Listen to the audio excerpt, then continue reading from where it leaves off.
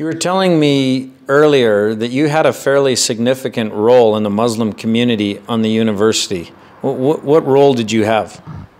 Uh, since I'm a KIU student, we have the Muslim family in KIU, and I managed to be a leader of. I managed to be a leader in the way that I'm on the top managing team of those Muslims and the Muslim family at KIU. You're this Muslim leader. You hear that MegaFest is coming. You show up at MegaFest, but you said you were in the in the back, in, in the shadows somewhere. Why was that? Because I was a leader in the Muslim family. So, so I was fearing to be seen by the fellow Muslims when I've come on the MegaFest. So I decided to hid somewhere in the corner. As Pastor Wells started preaching, he was clear and he was giving words which are touching my life. It was like it is for me in the whole crowd.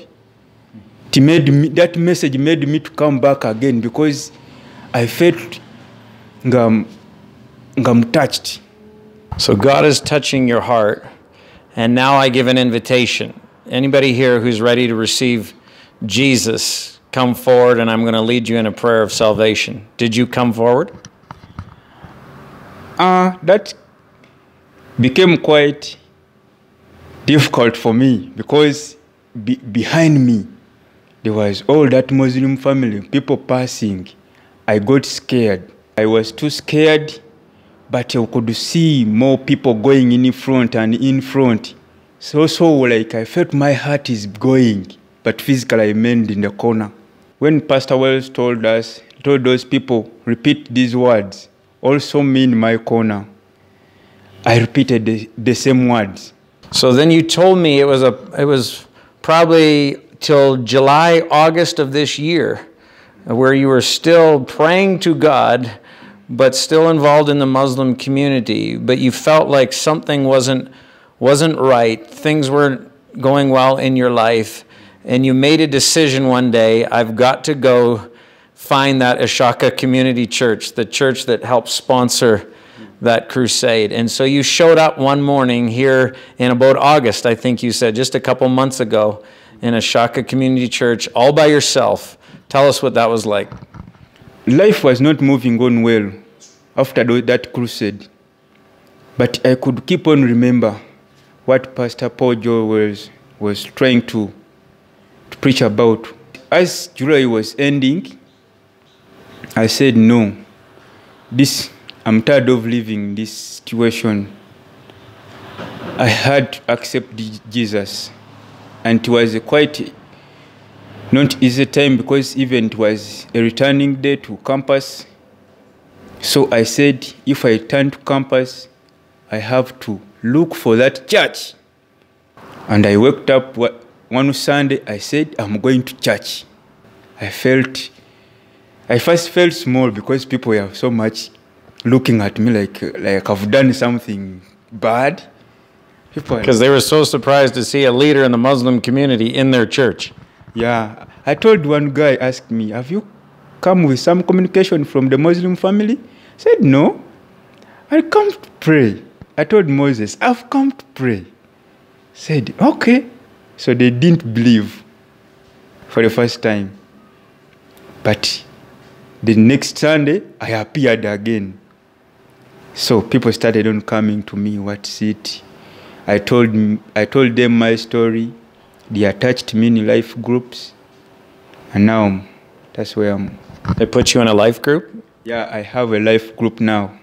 When I, I turned into Christianity, I felt like I have to be like that man who stands in front.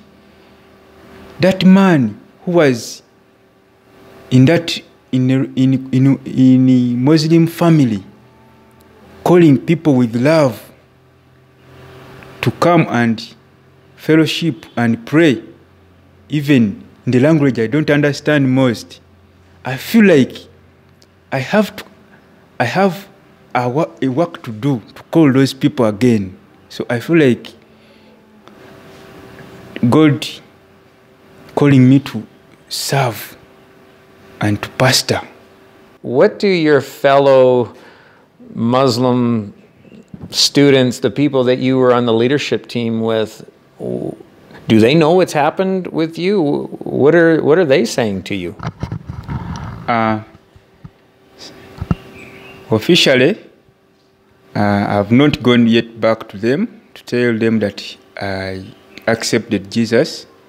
But always, as a person, you have friends, tight friends, who you move with, and they are fellow Muslims. Today morning, as I was putting on this T-shirt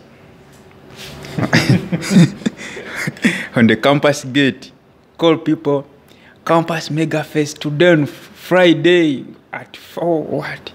I ask and pray and I request from God to give to give me strength, such that I can become that person that those people can one time come to me and say, "How are you doing your things?" And I will tell them, "There is only one way for being like me." is to accept Jesus as your personal savior. I would give my great thanks to Pastor Wells and his team for giving us this chance at least to come to Uganda to transform our lives. Because it's through the, the crusades they have made that my life has started to change. And I know there are a lot of people who their lives have changed and they are still changing. To me, it's just been so amazing to hear these stories, uh, to hear your story specifically. Uh, it just reinvigorates me that this is what God has called us to do. We've got to keep doing this. And I'm telling you, I couldn't do it if we didn't have people at home that were supporting us, praying for us, giving to us financially. When I hear stories like yours, I know that everything that we've been doing, all those that have been contributing, is all worth it uh, to see a life being transformed. So thank you for being willing to share your story with us. And I, I just want to encourage you keep going. It's just the beginning. I do believe that God has called you to pastor and to preach His gospel and to save others as you've been saved. So do it in Jesus' name. Amen.